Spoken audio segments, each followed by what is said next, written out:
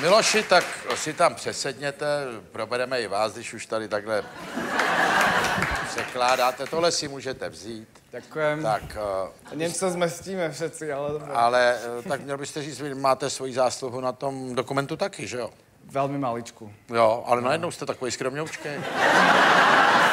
Suddenly you're so. Ne, teď už... No, No áno, my sme vlastne pred troma rokmi sa stretli práve s, producent, s producentkou Gabrielle Tana tuto v Londýne, kedy ona oslovila uh, Davida LaChapella, aby režiroval dokument. Vzniklo z toho video, ktoré sme všetci videli a potom sme sa všetci stali súčasťou nejakého organického no já už teď procesu. taky, já tady budu mít... Absolutne, áno. Takto sa to besne nabaľovalo. Já už jsem taky část týmu. Áno. No, ale měl byste mě říct, tak uh, vy jste tady jak dlouho v Británii?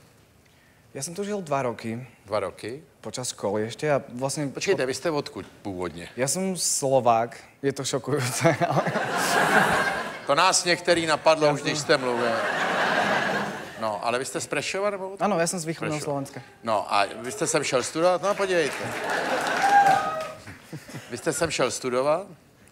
V 19 som sa sem pristahoval, áno, kvôli No škole. ne, ale vy jste jako tady udělal zkoušky? Áno, Na áno, co? áno.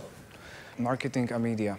Marketing a? Na, na, na dvoch fakultách som študoval. No. Vy jste studoval marketing na jedný média, na druhý? A behal som z budovy do budovy. Celé. V Čili vy jste vlastně vystudoval takovou novinařinu s marketingem. podstate áno, lebo ja som vedel, že sa vždy budem, respektíve vždy som vedel, že sa chcem živiť niečím, čo mi umožní cestovať a ž- nebyť úplne viazaný. Keď e, urobíte právo, tak to právo vás primárne priviaže k nejakému legislatívnemu systému.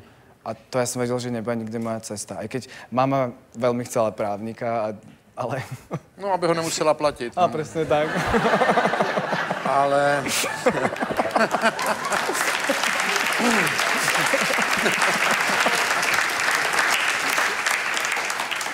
No a teďko se pohybujete kde? Všude, že jo, co já vím? No. I v Praze.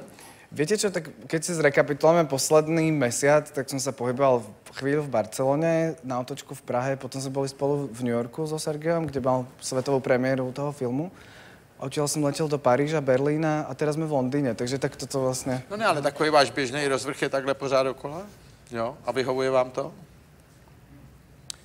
Pokiaľ si človek zachová nejakú zdravú balančnú fázu, že vlastne potom si dá nejaký týždeň, dva, kedy No. zako, zakotví, nazvime to, tak mi to vyhovuje. A někdy do Prešova jedete? Každý mesiac za mojou neterou. Jo. No. A proč za neteří? Aby, aby poznala strejdu, že jo, ten, čas beží strašne rýchlo, takže... No, ale eh, tak vy teda děláte tohle se Sergejem a co jste dělal předtím? A taký, asi aby to nejak logicky navezovalo, tak my sme práve s Davidom Lašapelom robili, hneď po škole sme začali spolupracovať na obrovskej výstave, ktorú mal v Rudolfíne Prahe, to bolo v roku 2011. A vtedy som sa po tom projekte rozhodol, že asi zakotvím v Prahe a odtiaľ. To je veľmi strategické miesto No všade. jste v Praze, jak jste ve světě. Ja si no. myslím. Miloš Rajda!